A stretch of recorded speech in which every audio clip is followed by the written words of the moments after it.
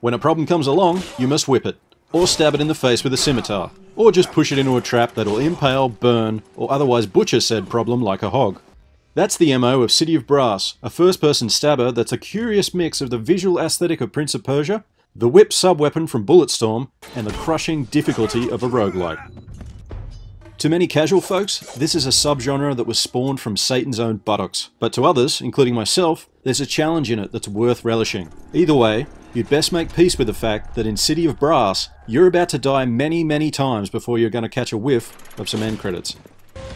Despite the impressive swashbuckling skills of our mysterious protagonist, the titular city you've unearthed has immense treasure inside that's heavily outweighed by its dangers.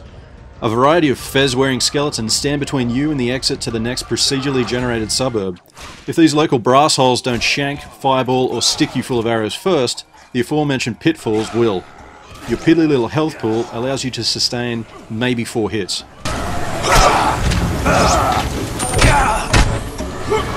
City of Brass is going to chafe you in the beginning, but it's also going to become incredibly addictive in a very short amount of time.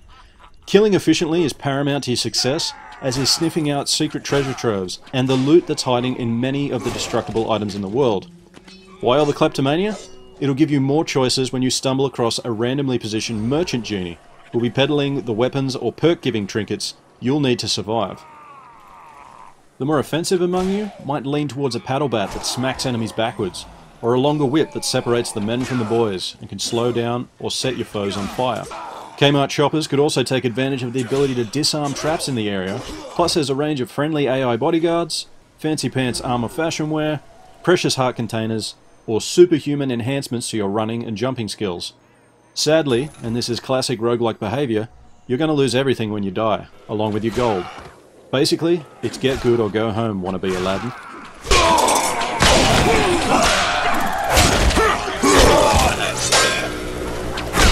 Fortunately, even with all these perks and abilities stripped away from your character, City of Brass is an absolute joy to play. Zipping about, pilfering what you need in levels that are constantly reconfiguring is a blast, and there are also some cool combat strategies to employ thanks to the whip. For example, L1 will yank enemies in a few steps toward you, hopefully into a bottomless chasm. L2 can sling one-use bombs and exploding lanterns right into your hands, and Uppercut Games has perfected a subtle layer of auto-aiming here. It effectively lets you swiftly target body parts to either blind, trip, or disarm your foes. If that isn't awesome enough, you can clear a room with a quick snap at an exploding brazier, or whisk yourself Indiana Jones style out of harm's way by cracking onto an overhead grapple point.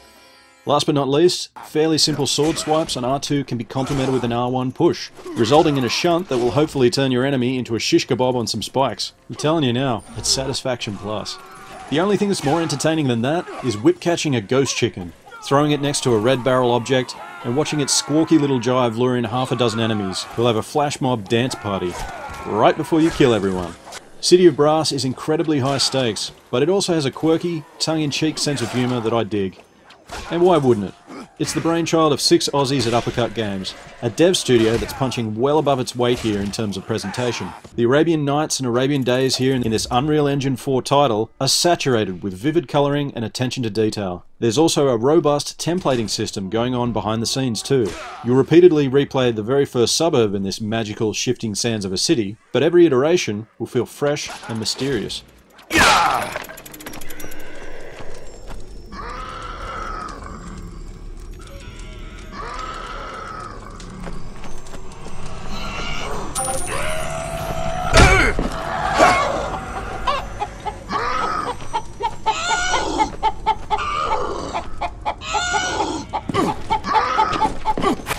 The only downside I can level at this production?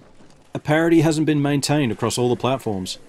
Sorry PS4 owners, but while the Xbox and PC versions come in glorious 4K, 1080p is the best you're gonna get. Beyond that disappointment, City of Brass is every bit a sleeper hit.